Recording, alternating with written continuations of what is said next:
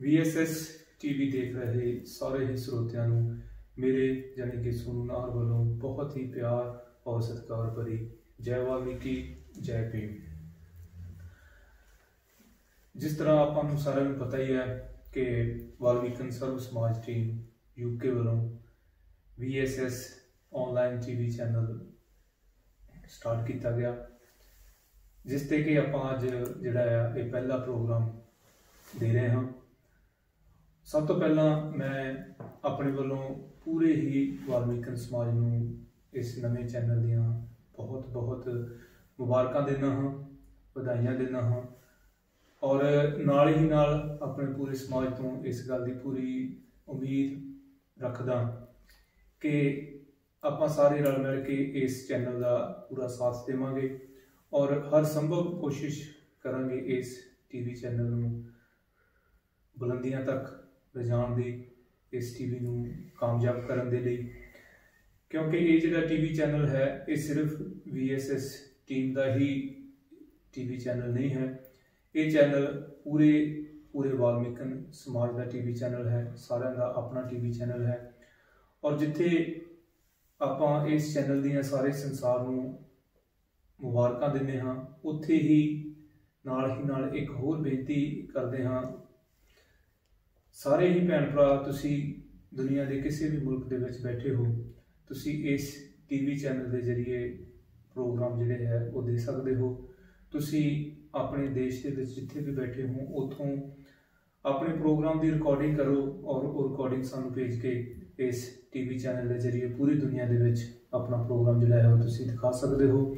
ਉਹਦੇ ਲਈ ਜੋ ਸਕਰੀਨ ਤੇ ਨੰਬਰ ਚੱਲ ਰਿਹਾ ਹੈ, ਤੁਸੀਂ ਉਸ ਨੰਬਰ ਤੇ ਕੰਟੈਕਟ ਕਰਕੇ ਸਾਡੇ ਨਾਲ ਤੇ ਆਪਣੇ ਪ੍ਰੋਗਰਾਮ ਜਿਹੜੇ ਆ, ਉਹ ਰਿਕਾਰਡ ਕਰਕੇ ਸਾਨੂੰ ਭੇਜ ਸਕਦੇ ਹੋ ਤੇ ਅਸੀਂ ਉਹ ਤੁਹਾਡੇ ਪ੍ਰੋਗਰਾਮ ਜਿਹੜੇ ਹੈ ਉਹ ਇਸ ਟੀਵੀ ਚੈਨਲ ਦੇ ਜ਼ਰੀਏ ਪੂਰੀ ਦੁਨੀਆ ਦੇ ਵਿੱਚ ਦਿਖਾ ਸਕਦੇ ਹਾਂ। ਸੋ ਅੱਜ ਦਾ ਜਿਹੜਾ ਪਹਿਲਾ ਪ੍ਰੋਗਰਾਮ ਹੈ, ਇਸ ਪ੍ਰੋਗਰਾਮ ਦੇ ਵਿੱਚ ਆਪਾਂ ਕਿਸੇ ਵੀ ਕੋਈ ਖਾਸ ਵਿਸ਼ੇ ਤੇ ਜਿਹੜੀ ਉਹ ਗੱਲਬਾਤ ਵਿਚਾਰ ਨਹੀਂ ਕਰਾਂਗੇ। ਅੱਜ ਦਾ ਵਿਚਾਰ ਦਾ ਜਿਹੜਾ ਵਿਸ਼ਾ ਹੋਵੇਗਾ, ਉਹ ਇੱਕ ਸਿੰਪਲ ਜਿਹਾ ਵਿਸ਼ਾ ਇਸ ਟੀਵੀ ਚੈਨਲ ਦੇ ਬਾਰੇ ਹੋਵੇਗਾ ਔਰ ਨਾਲ ਹੀ ਨਾਲ VSS ਟੀਮ ਜਿਹੜੀ ਕਿ ਉਸ ਟੀਮ ਦੇ ਬਾਰੇ ਜਿਹੜੀ ਹੈ ਆਪਾਂ ਸਾਰਿਆਂ ਦੇ ਨਾਲ ਜਾਣਕਾਰੀ ਜਿਹੜੀ ਹੈ, ਉਹ ਸਾਂਝੀ ਕਰਾਂਗੇ ਕਿ VSS ਟੀਮ ਕੀ ਹੈ, ਇਹ ਕਦੋਂ ਹੋਣ ਦੇ ਵਿੱਚ ਆਈ, ਕਿਉਂ ਹੋਣ ਦੇ ਵਿੱਚ ਆਈ, ਇਸ ਟੀਮ ਦੀਆਂ ਕੀ ਹੁਣ ਤੱਕ ਜਿਹੜੇ ਨੇ ਕੰਮ ਕੀਤੇ ਨੇ, ਉਹਨਾਂ ਦੇ ਬਾਰੇ ਆਪਾਂ ਜਿਹੜੀ ਉਹ ਗੱਲਬਾਤ ਕਰਾਂਗੇ। ਸੋ ਅੱਜ ਦੇ ਇਸ ਪ੍ਰੋਗਰਾਮ ਦੇ ਵਿੱਚ ਮੇਰੇ ਨਾਲ ਸਟੂਡੀਓ ਦੇ ਵਿੱਚ ਸ਼ਾਮਲ ਨੇ ਸ਼੍ਰੀਮਾਨ ਪ੍ਰਗਟ ਪੁਗਾਨੀਆ ਜੀ। ਆਪਾਂ ਉਹਨਾਂ ਦਾ ਸਵਾਗਤ ਕਰਦੇ ਹਾਂ। ਜੀ ਪੁਗਾਨੀਆ ਸਾਹਿਬ ਆਪ ਜੀ ਦਾ VSS ਟੀਵੀ ਚੈਨਲ ਤੇ ਬਹੁਤ-ਬਹੁਤ ਸਵਾਗਤ ਹੈ ਔਰ ਮੇਰੇ ਵੱਲੋਂ ਬਹੁਤ ਹੀ ਪਿਆਰ ਭਰੀ ਜੈ ਵਾਲਮੀਕੀ। ਜੈ ਸੋ ਪ੍ਰਗਟ ਪੁਗਾਨੀਆ ਜੀ VSS ਟੀਮ ਦੇ ਇੱਕ ਸੀਨੀਅਰ ਮੈਂਬਰ ਨੇ। ਅੱਜ ਦਾ ਪ੍ਰੋਗਰਾਮ ਜਿਹੜਾ ਹੈ ਉਹ ਆਪਾਂ ਇਹਨਾਂ ਦੇ ਨਾਲ ਸਾਂਝਾ ਕਰਾਂਗੇ ਤੇ ਉਮੀਦ ਹੈ ਕਿ ਤੁਸੀਂ ਅੱਜ ਇਸ ਪ੍ਰੋਗਰਾਮ ਨੂੰ ਜ਼ਰੂਰ ਦੇਖੋਗੇ ਔਰ ਆਪਣਾ ਪੂਰਾ ਰਿਸਪੌਂਸ ਦੇਵੋਗੇ। ਸੋ ਆਪਾਂ ਵਿਚਾਰਾਂ ਦਾ ਜਿਹੜਾ ਹੈ ਉਹ ਸਿਲਸਿਲਾ ਸ਼ੁਰੂ ਕਰਦੇ ਹਾਂ। ਸੋ ਪੁਗਾਨੀਆ ਸਾਹਿਬ ਸਭ ਤੋਂ ਪਹਿਲਾਂ ਤਾਂ VSS ਟੀਵੀ ਚੈਨਲ ਦੀਆਂ। ਆਪ ਜੀ ਨੂੰ ਵੀ ਬਹੁਤ ਬਹੁਤ ਮੁਬਾਰਕਾਂ। ਆਪ ਜੀ ਨੂੰ ਵੀ ਸੁਣ ਸਾਹਿਬ ਜੀ।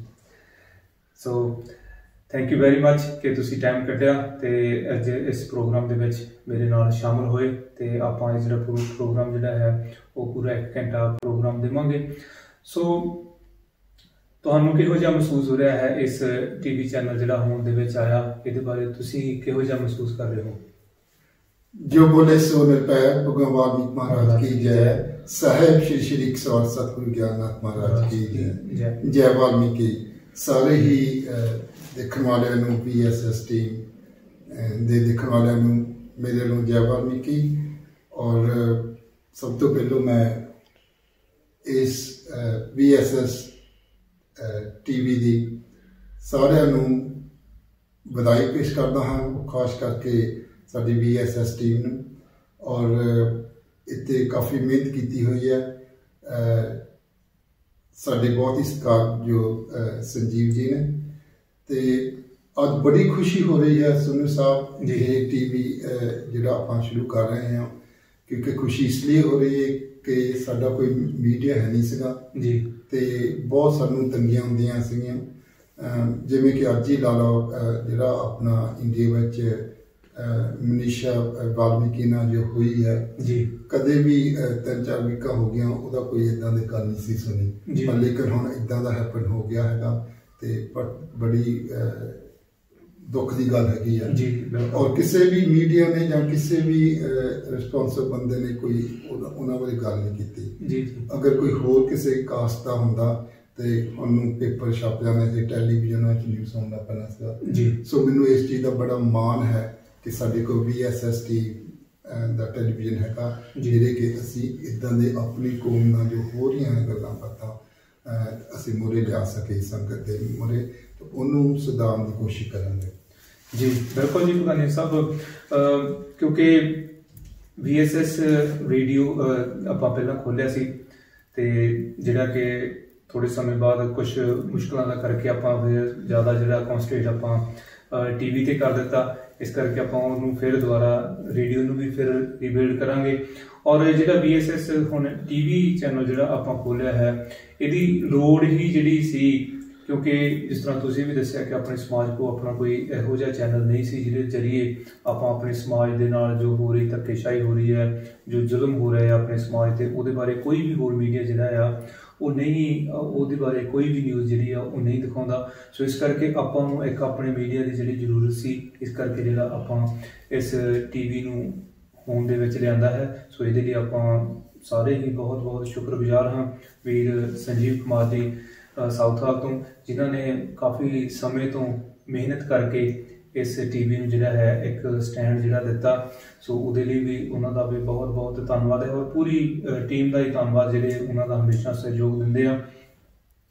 ਔਰ ਚਾਹੁੰਦੇ ਸੀ ਕਿ ਇੱਕ ਪਹਿਲਾ ਪ੍ਰੋਗਰਾਮ ਜਿਹੜਾ ਸੀ ਇੱਕ ਬੜੀ ਖੁਸ਼ੀ ਦੇ ਨਾਲ ਇਸ ਚੈਨਲ ਦੇ ਜਰੀਏ ਆਪਾਂ ਸ਼ੁਰੂ ਕਰਦੇ ਪਰ ਬੜੀ ਦੁੱਖ ਦੀ ਗੱਲ ਹੈ ਕਿ ਜਿਸ ਤਰ੍ਹਾਂ ਤੁਸੀਂ ਹੁਣੇ ਜ਼ਿਕਰ ਕਰ ਹੀ ਚੁੱਕੇ ਹੋ ਕਿ ਮਨੀਸ਼ਾ ਵਾਲਮੀਕੀ ਲੜਕੀ ਸਾਡੇ ਸਮਾਜ ਦੀ 19 ਸਾਲਾਂ ਦੀ ਲੜਕੀ ਜਿਹੜੀ ਯੂਪੀ ਦੇ ਵਿੱਚ ਹਾਥਰਸ ਪਿੰਡ ਦੇ ਵਿੱਚ, ਉਹਦੇ ਨਾਲ ਇੱਕ ਠਾਕੁਰ ਪਰਿਵਾਰ ਦੇ ਜਿਹੜੇ ਚਾਰ ਲੜਕਿਆਂ ਨੇ ਇੱਕ ਦੁਸ਼ਕਰਮ ਕਰਕੇ ਉਹਦੇ ਨਾਲ ਦੁਸ਼ਕਰਮ ਵੀ ਕੀਤਾ, ਫਿਰ ਉਹਦੇ ਸਰੀਰ ਦੀਆਂ ਜਿਹੜੀਆਂ ਧੌਣ ਦੀ ਹੱਡੀ ਤੋੜੀ ਗਈ, ਰੀੜ੍ਹ ਦੀ ਹੱਡੀ ਤੋੜੀ ਗਈ, ਹੋਰ ਉਹਦੇ ਬੋਡੀ ਪਾਰਟਸ ਦੇ ਨਾਲ ਜਿਹੜੇ ਆ, ਉਹ ਛੇੜਛਾੜ ਕੀਤੀ, ਉਹਨਾਂ ਨੂੰ ਨੁਕਸਾਨ ਪਹੁੰਚਾਇਆ, ਇੱਥੋਂ ਤੱਕ ਕਿ ਉਹਦੀ ਜੀਭ ਵੀ ਜਿਹੜੀ ਉਹ ਕੱਟ ਦਿੱਤੀ ਗਈ। ਇੰਨਾ ਦਰਿੰਦਗੀ ਭਰਿਆ ਜਿਹੜਾ ਸਲੂਕ ਉਸ ਲੜਕੀ ਦੇ ਨਾਲ ਕੀਤਾ। ਤੇ ਜਿਹੜੇ ਇੰਡੀਆ ਦੇ ਜਿਹੜੇ ਮੀਡੀਆ ਨੇ, ਉਹਨਾਂ ਨੇ ਇੱਕ ਛੋਟੀ ਜਿਹੀ ਖਬਰ ਵੀ ਜਿਹੜੀ ਆ, ਉਸ ਲੜਕੀ ਦੇ ਬਾਰੇ ਜਿਹੜੀ ਆ, ਉਹ ਨਹੀਂ ਦਿਖਾਈ। ਚਲੋ, ਸ਼ੁਕਰਗੁਜ਼ਾਰ ਹਾਂ ਕਿ ਸੋਸ਼ਲ ਮੀਡੀਆ ਦੇ ਜ਼ਰੀਏ ਆਪਣੇ ਭੈਣ ਭਰਾ ਕਾਫੀ ਐਕਟਿਵ ਨੇ, ਉਹ ਗੱਲਬਾਤ ਕਰ ਰਹੇ ਨੇ। ਕਾਫੀ ਇਸ ਮਸਲੇ ਨੂੰ ਜਿਹੜਾ ਆ, ਉਹ ਚੁੱਕਿਆ ਹੋਇਆ ਤੇ ਉਮੀਦ ਕਰਦੇ ਹਾਂ ਕਿ ਸ਼ਾਇਦ ਉਹਨਾਂ, ਅਹ ਗੁਨਾਹਗਾਰਾਂ ਨੂੰ ਜਿਹੜੀ ਹੈ ਉਹ ਸਜ਼ਾ ਜਿਹੜੀ ਉਹ ਜ਼ਰੂਰ ਮਿਲੇਗੀ। ਔਰ ਇੱਥੇ ਇੱਕ ਮੈਂ ਹੋਰ ਜ਼ਿਕਰ ਕਰਨਾ ਚਾਹਾਂਗਾ ਕਿ ਕੁਝ ਸਾਲ ਪਹਿਲਾਂ ਦਿੱਲੀ ਦੇ ਵਿੱਚ ਇੱਕ ਲੜਕੀ ਦੇ ਨਾਲ ਜਿਹੜਾ ਸੀ, ਇਹੋ ਜਿਹਾ ਹੀ ਪਾਣਾ ਵਰਤਿਆ ਸੀ। ਇੱਥੇ ਜਦੋਂ ਗੱਲ ਕਰਦੇ ਆ ਕਿ ਅੱਜ ਇਸ ਲੜਕੀ ਦੇ ਹੱਕ ਦੇ ਵਿੱਚ ਇੰਡੀਆ ਦੇ ਲੋਕ ਜਿਹੜੇ ਉਹ ਨਹੀਂ ਖੜ ਰਹੇ, ਉਹ ਸਿਰਫ ਤੇ ਸਿਰਫ ਉਹ ਕਾਸਟ ਸਿਸਟਮ ਦੀ ਵਜ੍ਹਾ ਦੇ ਕਰਕੇ ਹੀ ਹੈ। ਕਿਉਂਕਿ ਜਦੋਂ ਦਿੱਲੀ ਦੇ ਵਿੱਚ ਉਹ ਕੇਸ ਹੋਇਆ ਸੀ ਨਿਰਭਇਆ ਕੇਸ ਹੋਇਆ ਸੀ, ਮੈਂ ਉਸ ਕੇਸ ਦੇ ਜਿਹੜੇ ਗੁਨਾਹਗਾਰ ਸੀ, ਮੈਂ ਉਹਨਾਂ ਦੀ ਵੀ ਨਿੰਦਿਆ ਕਰਦਾ ਕਿ ਉਹਨਾਂ ਨੇ ਵੀ ਜੋ ਕੀਤਾ, ਉਹ ਬਹੁਤ ਗਲਤ ਕੀਤਾ ਸੀ। ਅੱਜ ਵੀ ਇਸੇ ਗੱਲ ਤੇ ਮੈਂ ਖੜਾ ਕਿ ਉਦੋਂ ਵੀ ਜਿਹੜਾ ਜੋ ਹੋਇਆ ਸੀ, ਉਹ ਬਹੁਤ ਗਲਤ ਹੋਇਆ ਸੀ। ਤੇ ਉਦੋਂ ਵੀ ਇਸ ਕੇਸ ਦੀ ਜਿਹੜੀ ਉਹ ਨਿੰਦਿਆ ਕੀਤੀ ਸੀ ਕਿ ਇਹ ਬਹੁਤ ਗਲਤ ਕੀਤਾ ਗਿਆ। ਪਰ ਜਿਹੜੇ ਲੋਕ ਉਸ ਸਮੇਂ ਉਸ ਲੜਕੀ ਦੇ ਨਾਲ ਖੜੇ ਸੀ ਅੱਜ ਉਹਨਾਂ ਦੀ ਜ਼ੁਬਾਨ ਦੇ ਵਿੱਚੋਂ ਕੋਈ ਲਫ਼ਜ਼ ਜਿਹੜਾ ਸੀ ਉਹ ਮਨੀਸ਼ਾ ਦੇ ਬਾਰੇ ਜਿਹੜਾ ਹੈ ਉਹ ਨਹੀਂ ਸੁਣਿਆ। ਕਿਸੇ ਨੇ ਵੀ ਹਾਂ ਦਾ ਨਾਰਾ ਨਹੀਂ ਮਾਰਿਆ ਨਾ ਤੇ ਕਿਸੇ ਪੋਲੀਟੀਕਲ ਪਾਰਟੀ ਨੇ ਨਾ ਕਿਸੇ ਫਿਲਮੀ ਹਸਤੀ ਨੇ। ਦੁੱਖ ਹੁੰਦਾ ਕਿ ਅਸੀਂ ਕਦੇ ਮਹਿਸੂਸ ਕਰਦੇ ਹਾਂ ਗਰਵ ਮਹਿਸੂਸ ਕਰਦੇ ਹਾਂ ਕਿ ਅਸੀਂ ਭਾਰਤ ਵਾਸੀ ਹਾਂ। ਪਰ ਜਦੋਂ ਇਹੋ ਜਿਹੇ ਸਮਾਚਾਰ ਉਸ ਦੇਸ਼ ਦੇ ਵਿੱਚੋਂ ਸੁਣਨ ਨੂੰ ਮਿਲਦੇ ਤੇ ਬੜੀ ਸ਼ਰਮ ਮਹਿਸੂਸ ਹੁੰਦੀ ਹੈ ਕਿ ਜਦੋਂ ਦੂਸਰੀ ਕੰਟਰੀ ਦੇ ਲੋਕ ਸਾਨੂੰ ਪੁੱਛਦੇ ਕਿ ਯਾਰ ਤੁਹਾਡੇ ਮੁਲਕ ਦੇ ਵਿੱਚ ਇਦਾਂ ਦੇ ਹੈਪਨ ਹੁੰਦੇ ਆ ਤੇ ਬੜੀ ਨਮੋਸ਼ੀ ਜਿਹੜੀ ਆ ਉਹ ਸਹਿਣ ਕਰਨੀ ਪੈਂਦੀ ਆ ਕਿ ਹਾਂ, ਅਸੀਂ ਇਹੋ ਜਿਹੇ ਦੇਸ਼ ਦੇ ਵਾਸੀ ਹਾਂ ਕਿ ਜਿਸ ਦੇਸ਼ ਦੇ ਵਿੱਚ ਇਨਸਾਨ ਦੀ ਜਿਹੜੀ ਹੈ ਉਹ ਕਦਰ ਬਿਲਕੁਲ ਜਿਹੜੀ ਹੈ ਉਹ ਜਾਨਵਰਾਂ ਤੋਂ ਵੀ ਬੱਤਰ ਜਿਹੜੀ ਉਹ ਕੀਤੀ ਜਾਂਦੀ ਹੈ ਸਿਰਫ ਤੇ ਸਿਰਫ ਇੱਕ ਕਾਸਟ ਸਿਸਟਮ ਦੀ ਵਜ੍ਹਾ ਦਾ ਕਰਕੇ। ਚਲੋ ਖੈਰ, ਆਪਾਂ ਇਸ ਵਿਸ਼ੇ ਤੇ ਜਿਹੜਾ ਹੈ, ਇੱਕ ਕਿਸੇ ਦਿਨ ਜਿਹੜਾ ਹੈ, ਉਹ ਪੂਰਾ ਪ੍ਰੋਗਰਾਮ ਦੇਵਾਂਗੇ। ਸੋ ਅੱਜ ਆਪਾਂ ਜਿਹੜੀ ਉਹ ਗੱਲਬਾਤ ਕਰਾਂਗੇ VSS ਟੀਮ ਦੇ ਬਾਰੇ। ਤੁਸੀਂ VSS ਟੀਮ ਦੇ ਜਿਹੜੇ ਉਹ ਸ਼ੁਰੂ ਤੋਂ ਮੈਂਬਰ ਹੋ, ਇੱਕ ਸੀਨੀਅਰ ਮੈਂਬਰ ਹੋ, ਸਭ ਤੋਂ ਪਹਿਲਾਂ ਟੀਵੀ ਦੇਖ ਰਹੇ ਦਰਸ਼ਕਾਂ ਨੂੰ ਇਹ ਦੱਸੋ ਕਿ VSS ਟੀਮ ਜਿਹੜੀ ਹੈ, ਉਹ ਕਦੋਂ ਹੋਣ ਦੇ ਵਿੱਚ ਆਈ? ਠੀਕ ਹੈ।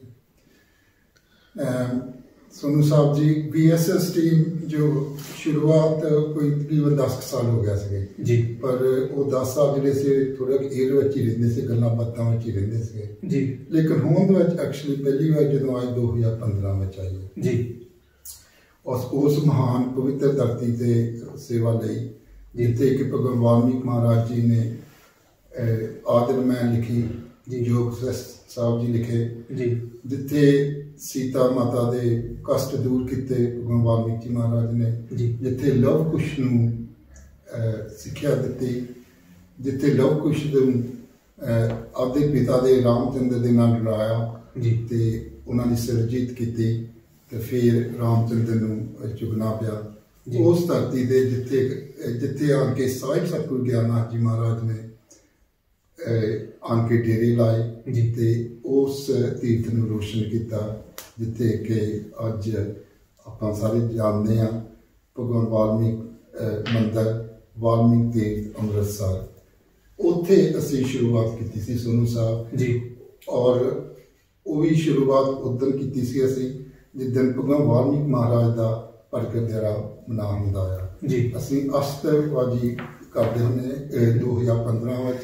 ਜਿੱਦਾਂ ਭਗਵਾਨ ਵਾਲਮੀਕ ਮਹਾਰਾਜ ਦਾ ਪ੍ਰਗਟ ਦਿਨ ਹੋਵੇ ਔਰ ਉਦੋਂ ਲਾ ਕੇ 2015 ਤੋਂ ਲਾ ਕੇ ਐਵਰੀ ਈਅਰ ਅਸੀਂ ਕਰਦੇ ਰਹੇ। ਜੀ ਜੀ।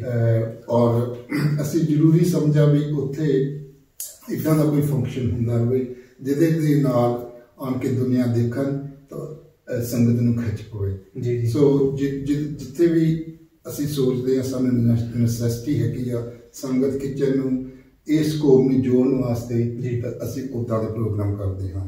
ਉਸ ਤੋਂ ਉਪਰੰਤ ਉਸ ਜੀ ਬਿਲਕੁਲ ਇਸ ਤਰ੍ਹਾਂ ਤੁਸੀਂ ਦੱਸਿਆ ਕਿ 2015 ਦੇ ਵਿੱਚ ਜਿਹੜੀ ਹੈ ਉਹ ਪਹਿਲੀ ਵਾਰੀ ਭਗਵਾਨ ਵਾਲਮੀਕੀ ਮਹਾਰਾਜ ਦੇ ਪ੍ਰਗਟ ਦਿਵਸ ਤੇ ਆਤਿਸ਼ਬਾਜ਼ੀ ਜਿਹੜੀ ਸੀ ਉਹ ਉਹ ਕੀਤੀ ਗਈ।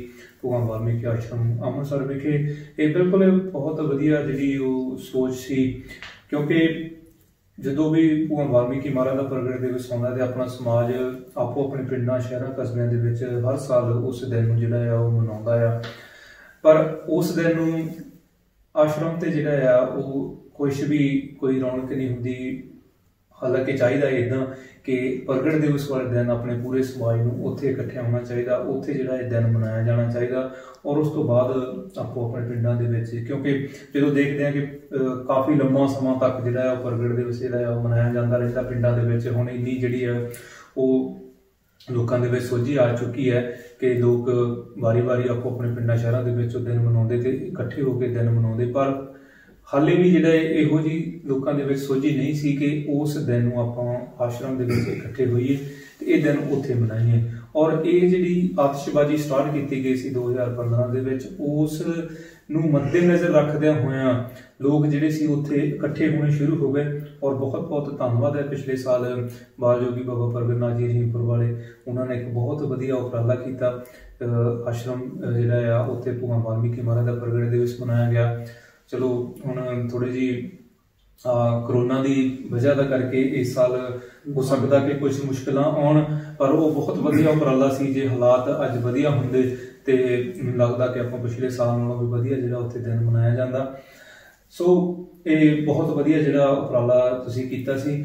ਔਰ ਉਸ ਤੋਂ ਇਲਾਵਾ 2015 ਤੋਂ ਪਹਿਲਾਂ ਜੋ ਤੁਸੀਂ ਦੱਸਦੇ ਕਿ ਥੋੜੀ ਬਹੁਤੀ ਤੁਸੀਂ ਐਕਟਿਵ ਸੀ ਪਰ ਸਾਹਮਣੇ ਨਹੀਂ ਸੀ ਆਏ. ਉਹ ਉਦੋਂ ਜਿਹੜੇ ਉਹ ਕਿਹੋ ਜਿਹੇ ਜਿਹੜੇ ਉਹ ਕੰਮ ਕੀਤੇ ਗਏ ਬੀਐਸਐਸ ਟੀਮ ਦੇ ਵੱਲੋਂ ਉਦੋਂ ਸੁਣ ਸਾਹਿਬ ਅਸੀਂ ਅਮ, ਅਸੀਂ ਛੋਟੇ ਮੋਟੇ ਕੰਮ ਕੀਤੇ ਆ ਜਿਵੇਂ ਕਿ ਕਿਸੇ ਦੀ ਪਰਸਨਲ ਹੈਲਪ ਕਰ ਦੇਣੀ ਜੀ। ਕਿਸੇ ਕਿਸੇ ਆਪਣੇ ਪਿੰਡ ਦੇ ਵਿੱਚ ਜਾਂ ਕਿਸੇ ਨੂੰ ਜ਼ਰੂਰਤ। ਕਿਸੇ ਨੂੰ ਪੜਾਉਣ ਦੀ ਜਾਂ ਕੋਈ ਹਸਪੀਟਲ ਚਲੇ ਗਿਆ ਇਸ ਤਰੀਕੇ ਦੇ ਛੋਟੇ ਛੋਟੇ ਲੋ ਲੈਵਲ ਤੇ ਕੰਮ ਕੀਤੇ ਆ। ਉਸ ਤੋਂ ਉਪਰੰਤ ਫਿਰ ਹਵਾਲਾ ਜਾਂ ਬੜਾ ਉਡਿਆ ਸੀਗਾ ਜਿਹੜੀ ਕਿ ਭਗਵਾਨ ਮਹਾਰਾਜ ਜੀ ਬਾਇਓਲੋਜੀਕਲ ਸਟੋਰੀਆਂ ਲੱਗੀਆਂ ਰਹੀਆਂ ਜੀ। ਮਿਥੋਲੋਜੀ ਜੀ, ਜੀ। ਸਟੋਰੀਆਂ ਲੱਗੀਆਂ ਰਹੀਆਂ ਜਿਵੇਂ ਕਿ ਟੀਵੀ ਦੇ ਟੀਵੀ। ਸੀਰੀਜ਼ ਹੈ YouTube। ਤੇ ਬਾਲੀਵੁੱਡ ਮੂਵੀ ਫਿਲਮਾਂ ਦੇ ਵਿੱਚ।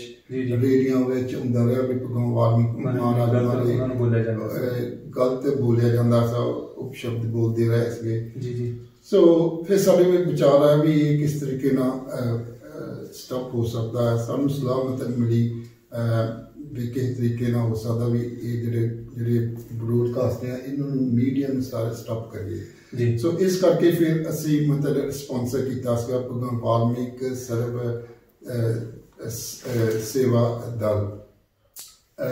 ਉਹਨਾਂ ਨੂੰ ਹੀ ਸਪਾਂਸਰ ਕੀਤਾ ਤਾਂ ਉਹਨਾਂ ਨੇ ਇਹ ਕੇਸ ਹੈਂਡਲ ਕੀਤਾ ਸੀਗਾ। ਇੰਡੀਆ ਤੋਂ। ਇੰਡੀਆ ਚੋਂ ਹਾਂਜੀ। ਜੀ। ਜਿਹਦੇ ਕਿ ਐਟ ਦ ਟਾਈਮ ਪ੍ਰੈਜ਼ੀਡੈਂਟ ਸੀਗੇ ਰੋਨੀ ਗਿਲ ਜੀ। ਉਹਨਾਂ ਦਾ ਬਹੁਤ ਬਹੁਤ ਧੰਨਵਾਦੀ ਹਾਂ ਜਿਨ੍ਹਾਂ ਨੇ ਇਹ ਕੇਸ ਲਿਆ ਸੀਗਾ ਜੀ। ਤੇ ਇਸ ਤਰੀਕੇ ਨਾਲ ਮਤਲਬ ਅਸੀਂ ਉਹਨਾਂ ਨੂੰ ਸਪਾਂਸਰ ਕਰਦੇ ਰਹੇ ਜੀ ਉਹਨਾਂ ਨੇ ਕਾਫੀ ਮਿਹਨਤ ਕੀਤੀ ਹਾਂਜੀ ਇਸ ਉਹਨਾਂ ਨੇ। ਕਾਫੀ ਮਿਹਨਤ ਕੀਤੀ ਹੈ ਜੀ ਜੀ, ਜੀ, ਜੀ। ਜਿਹੜੇ ਕਿ ਇਦਾਂ ਦੇ ਅਸੀਂ ਇਹਦੀ ਵੀ ਨੀਡ ਸੀਗੀ ਹੈਗੀ ਜੀ, ਬਿਲਕੁਲ। ਅਸੀਂ ਮਤਲਬ ਹੌਸਲਾ ਜਿਹਾ ਕੱਢ ਕੇ ਤੇ ਉਹਨਾਂ ਨੂੰ ਫੋਰਵਰਡ ਕੀਤਾ ਸੀਗਾ ਜੀ ਬਿਲਕੁਲ ਕਿਉਂਕਿ ਮੀਡੀਆ ਦੇ ਵਿੱਚ ਜੋ ਗਲਤ ਇਨਫੋਰਮੇਸ਼ਨ ਜਿਹੜੀ ਆ ਉਹ ਦਿੱਤੀ ਜਾਂਦੀ ਲੋਕਾਂ ਨੂੰ ਉਹ ਬਹੁਤ ਜ਼ਿਆਦਾ ਖਤਰਨਾਕ ਹੈ ਕਿਉਂਕਿ ਮੀਡੀਆ ਹਰ ਇੱਕ ਬੰਦਾ ਜਿਹੜਾ ਹੈ ਅੱਜ ਮੀਡੀਆ ਦੇ ਨਾਲ ਜੁੜਿਆ ਹੋਇਆ ਹੈ ਮੀਡੀਆ ਚੋਂ ਇਨਫੋਰਮੇਸ਼ਨ ਲਈ ਜਾਂਦੀ ਹੈ ਔਰ ਉੱਥੋਂ ਜਿਹੜੀ ਗਲਤ ਇਨਫੋਰਮੇਸ਼ਨ ਲੋਕਾਂ ਤੱਕ ਪਹੁੰਚਦੀ ਹੈ, ਉਹ ਬਹੁਤ ਨੁਕਸਾਨਦਾਇਕ ਹੈ। ਸਪੈਸ਼ਲੀ ਜਦੋਂ ਆਪਾਂ ਆਪਣੇ ਸਮਾਜ ਦੀ ਗੱਲ ਕਰਦੇ ਹਾਂ, ਭਗਵਾਨ ਵਾਲਮੀਕੀ ਮਹਾਰਾਜ ਦੀ ਗੱਲ ਕਰਦੇ ਹਾਂ, ਤੇ ਉਹਨਾਂ ਦੇ ਬਾਰੇ ਜੋ ਗਲਤ ਇਨਫੋਰਮੇਸ਼ਨ YouTube ਤੋਂ ਜਾਂ ਟੀਵੀ ਸੀਰੀਅਲ ਤੋਂ ਜਿਹੜੀ ਦੇ- ਦਿੱਤੀ ਜਾਂਦੀ ਹੈ, ਉਹ ਤੁਸੀਂ ਦੱਸਿਆ ਕਿ ਉਹ ਕੇਸ ਜਿਹੜੇ ਸੀ,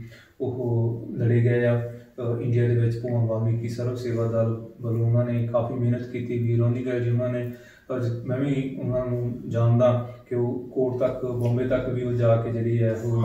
ਉਹਨਾਂ ਨੇ ਕਾਫੀ ਜਿਹੜੀ ਹੈ ਮਿਹਨਤ ਕਰਕੇ ਕੋਰਟ ਦੇ ਵਿੱਚ ਜਿਹੜੀ ਉਹ ਕੇਸ ਲੜੇ। ਸੋ ਬੀਐਸਐਸ ਟੀਮ ਦਾ ਵੀ ਬਹੁਤ ਬਹੁਤ ਧੰਨਵਾਦ ਹੈ ਕਿ ਫਾਈਨੈਂਸ਼ੀਅਲੀ ਜਿਹੜੀ ਹੈਲਪ ਤੁਸੀਂ ਜਿਹੜੀ ਉਹਨਾਂ ਦੀ ਕਰਦੇ ਰਹੇ ਇਸ ਇਹਨਾਂ ਕੇਸਾਂ ਦੇ ਲਈ। ਔਰ ਇੱਥੇ ਮੈਂ ਇੱਕ ਹੋਰ ਥੋੜੀ ਜੀ ਗੱਲ ਮੈਂਸ਼ਨ ਕਰਨੀ ਚਾਹਾਂ ਕਿ YouTube ਤੇ ਅਗਰ ਭਗਵਾਨ ਵਾਲਮੀਕੀ ਮਹਾਰਾਜ ਬਾਰੇ ਜਾਂ ਆਪਣੇ ਸਮਾਜ ਬਾਰੇ ਕੁਝ ਗਲਤ ਵੀਡੀਓਜ਼ ਜਿਹੜੀਆਂ ਬਣੀਆਂ ਹੁੰਦੀਆਂ, ਉਹਨਾਂ ਨੂੰ ਆਪਾਂ ਜਿਹੜਾ ਆ ਉਹ ਘਰ ਬੈਠੇ ਜਿਹੜੇ ਆ ਉਹ ਰਿਮੂਵ ਕਰਵਾ ਸਕਦੇ ਆ ਉਹਦੇ ਲਈ ਦੋ ਤਿੰਨ ਆਪਸ਼ਨ ਆ ਜਦੋਂ ਅਸੀਂ ਇੱਥੇ ਲੋਕਾਂ ਦੇ ਨਾਲ ਪਰਸਨਲੀ ਵੀ ਗੱਲਬਾਤ ਕਰਦੇ ਆ ਜਾਂ ਮੰਦਰਾਂ ਦੇ ਵਿੱਚ ਵੀ ਜਾ ਕੇ ਜਦੋਂ ਬੋਲਣਾ ਦਾ ਮੌਕਾ ਮਿਲਦਾ।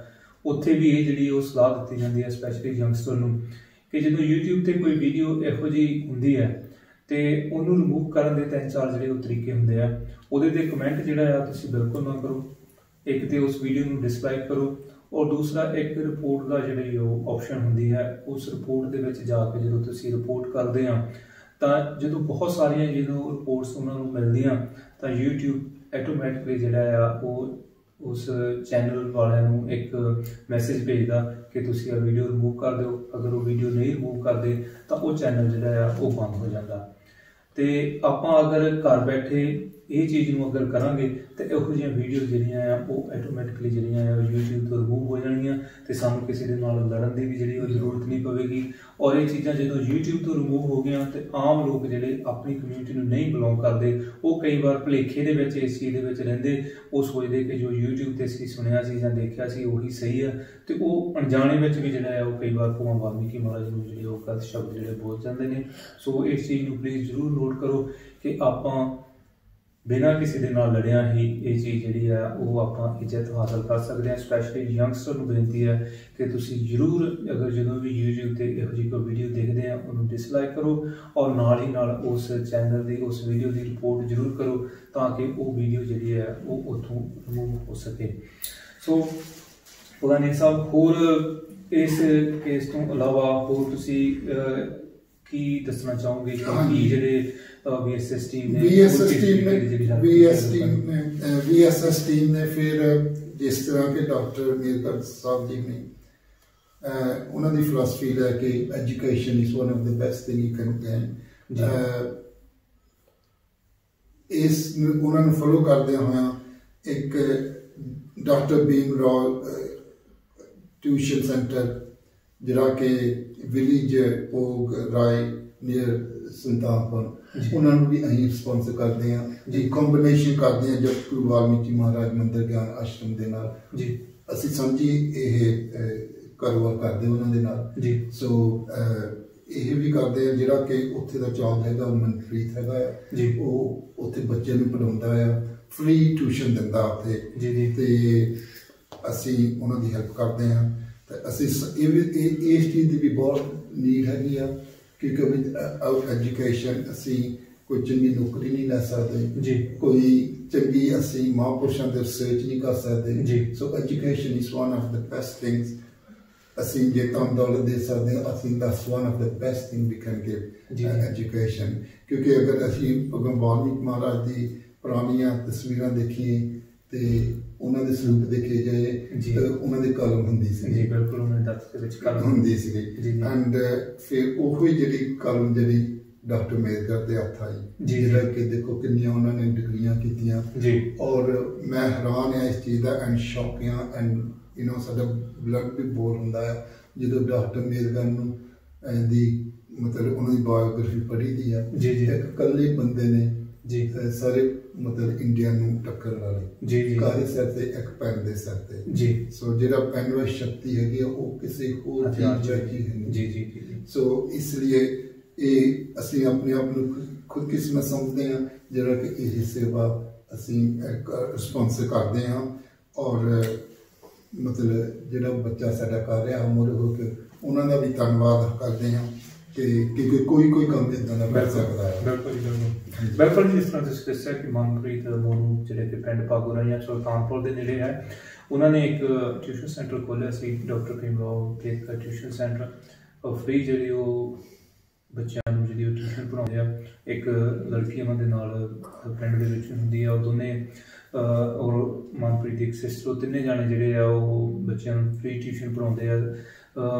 ਫਾਈਨੈਂਸ਼ਲੀ ਵੀ ਬੱਚਿਆਂ ਦੀ ਜਿਹੜੀ ਉਹ ਹਮੇਸ਼ਾ ਹੈਲਪ ਕਰਦੇ ਰਹਿੰਦੇ, ਬੱਚਿਆਂ ਨੂੰ ਕਾਪੀਆਂ ਜਾਂ ਕਿਤਾਬਾਂ, ਜੋ ਵੀ ਚੀਜ਼ ਜਿਹੜੀ ਉਹ ਲੋੜ ਹੁੰਦੀ ਹੈ ਉਹ ਜਿਸ ਤਰ੍ਹਾਂ ਤੁਸੀਂ ਦੱਸਿਆ ਕਿ ਜਗਤਰੂ ਵਾਲਮੀਕੀ ਮਹਾਰਾਜ ਮੰਦਰ ਗਿਆਨ ਆਸ਼ਰਮ ਔਰ ਵੀ ਸਿਸਟਮ ਵੱਲੋਂ ਸਮੇਂ-ਸਮੇਂ ਸਿਰ ਜਿਹੜੀ ਉਹਨਾਂ ਦੀ ਹੈਲਪ ਤੁਸੀਂ ਕਰਦੇ ਹੋ, ਬਹੁਤ ਵਧੀਆ ਹੈ ਕਿਉਂਕਿ ਐਜੂਕੇਸ਼ਨ ਜਿਹੜੀ ਹੈ ਉਹ ਬਹੁਤ ਜ਼ਿਆਦਾ ਜ਼ਰੂਰੀ ਹੈ ਔਰ ਗਿਆਨ ਤੋਂ ਬਿਨਾ ਇਨਸਾਨ ਜਿਹੜਾ ਹੈ ਉਹ ਕੁਝ ਵੀ ਨਹੀਂ ਕਰ ਸਕਦਾ। ਇਸ ਤਰ੍ਹਾਂ ਤੁਸੀਂ ਦੱਸ ਹੀ ਚੁੱਕੇ ਹੋ ਕਿ ਬਾਬਾ ਸਾਹਿਬ ਡਾਕਟਰ ਭੀਮਰਾਓ ਅੰਬੇਦਕਰ ਨੇ ਇਕੱਲਿਆਂ ਹੀ ਸਿਰਫ ਤੇ ਸਿਰਫ ਆਪਣੀ ਐਜੂਕੇਸ਼ਨ ਆਪਣੀ ਸੋਚ ਦੇ ਨਾਲ, ਆਪਣੀ ਕਲਮ ਦੇ ਨਾਲ ਹੀ ਜਿਹੜਾ ਆ ਜੋ ਆਪਾਂ ਪਿਛਲੇ ਬਹੁਤ ਸਾਲਾਂ ਦੇ ਵਿੱਚ ਜਿੰਨਾ ਆਪਾਂ ਪਿਛਲੇ ਸੀ, ਉਹਨਾਂ ਨੇ, ਇਕੱਲਿਆਂ ਨੇ ਆਪਾਂ ਨੂੰ ਉਸ ਕਾਬਲ ਬਣਾ ਦਿੱਤਾ ਕਿ ਅੱਜ ਤੁਸੀਂ ਇੱਥੋਂ ਜਿਹੜਾ ਆ, ਉਹ ਜਲਦੀ ਅੱਗੇ ਜਿਹੜਾ ਹੈ ਨਿਕਲ ਸਕਦੇ ਆ।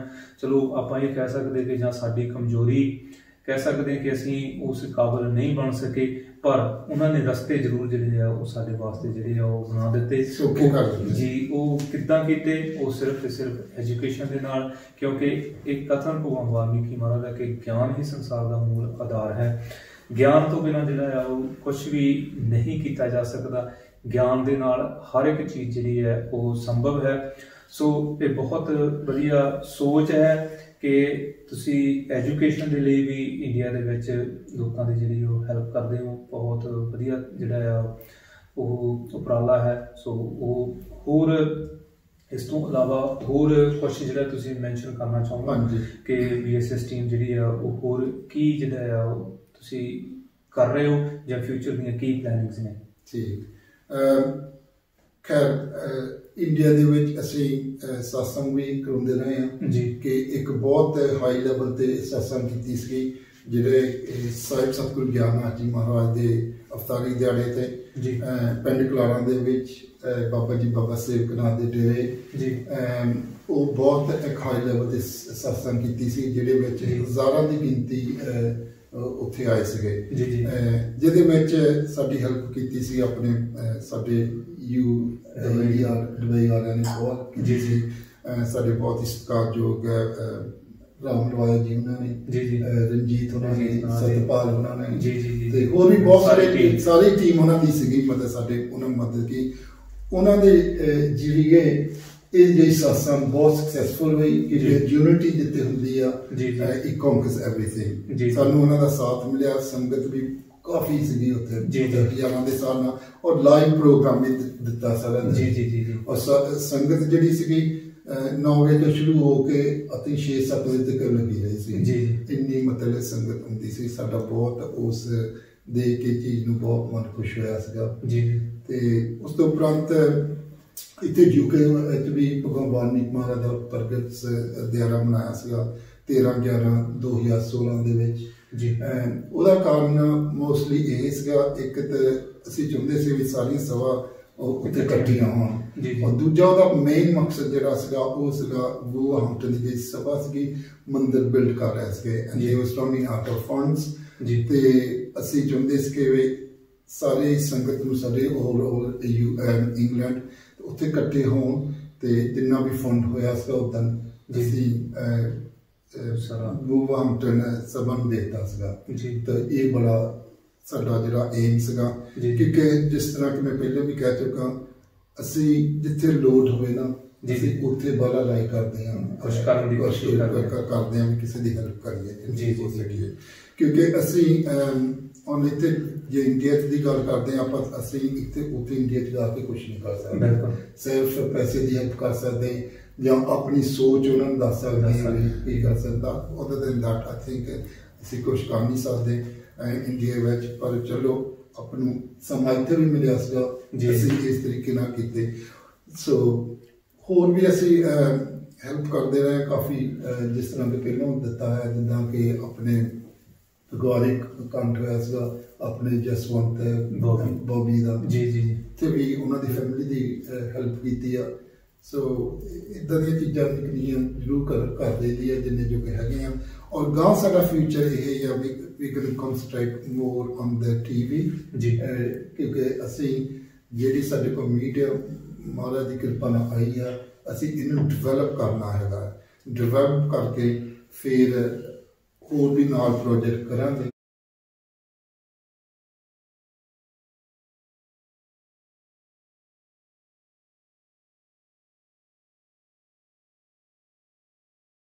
ਇੰਨੀਆਂ ਜਿਹੜੀਆਂ ਜਾਣਕਾਰੀਆਂ ਤੁਸੀਂ ਸਾਂਝੀਆਂ ਕੀਤੀਆਂ ਔਰ ਜਿਹੜੀ ਆਪਾਂ ਸਹਿਬ ਸਤਿਗੁਰੂ ਗਿਆਨਨਾਥ ਮਹਾਰਾਜ ਦਾ ਅਵਤਾਰੀ ਜਿਹੜਾ ਜਿਹੜਾ ਤੁਸੀਂ ਦੱਸਿਆ ਕਿ ਆਪਾਂ ਉੱਥੇ ਮਨਾਇਆ ਸੀ ਪਿੰਡ ਤਲਾਰਾਂ ਦੇ ਵਿੱਚ ਔਰ ਭੂਆ ਵਾਲਮੀਕੀ ਜੀ ਬ੍ਰਹਮ ਗਿਆਨ ਜਾਗਰਤੀ ਸੰਸਥਾ ਦੁਬਈ ਦੀ ਟੀਮ ਉਹਨਾਂ ਨੇ ਇਹਦੇ ਵਿੱਚ ਪੂਰਾ ਸਹਿਯੋਗ ਦਿੱਤਾ ਤੇ ਉਹਨਾਂ ਦਾ ਵੀ ਇਹਦੇ ਲਈ ਬਹੁਤ ਬਹੁਤ ਧੰਨਵਾਦ ਔਰ ਬੜਾ ਉਸ ਦਿਨ ਮਨ ਖੁਸ਼ ਸੀ ਪੂਰਾ ਲਾਈਵ ਸਾਰਾ ਦਿਨ ਆਪਾਂ ਇੱਥੋਂ ਪ੍ਰੋਗਰਾਮ ਦੇਖਿਆ ਤੇ.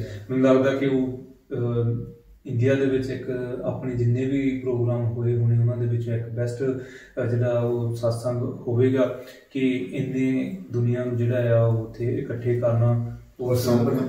ਅਹ, ਇੱਕ ਪਿੰਡ ਦੇ ਵਿੱਚ ਇਹ ਇਹ ਹਰ ਪਾਸੇ ਤੋਂ ਚਾਰਾਂ ਪਾਸਿਆਂ ਤੋਂ ਜਿਹੜੇ ਉਹ ਨਗਰ ਕੀਰਤਨ ਉਸ ਪਿੰਡ ਦੇ ਵਿੱਚ ਆਏ ਸੀ ਉਸ ਬੜੀ ਜਿਹੜੀ ਉਹ ਇੱਕ ਮਨ ਨੂੰ ਖੁਸ਼ੀ ਹੋਈ ਸੀ ਔਰ ਜਿੱਥੇ ਆਪਾਂ ਆਪਣੇ ਸਾਰੇ ਮਹਾਂਪੁਰਸ਼ਾਂ ਦਾ ਕਲਾਰਾਂ ਵਾਲੇ ਸੰਤਾਂ ਦਾ ਧੰਨਵਾਦ ਕਰਦੇ ਹਾਂ ਬਾਬਾ ਪਰਵਿੰਦਰ ਨਾਥ ਜੀ ਦਾ ਧੰਨਵਾਦ ਕਰਦੇ ਹਾਂ ਸਵਰਗੀ ਮਲਵੀਰ ਨਾਥ ਜੀ। ਨਾਲ ਵਾਲੇ ਅੱਜ ਸਾਡੇ ਦੇ ਵਿੱਚ ਨਹੀਂ ਰਹੇ। ਉਹਨਾਂ ਨੇ ਵੀ ਉਹਦੇ ਲਈ ਪੂਰਾ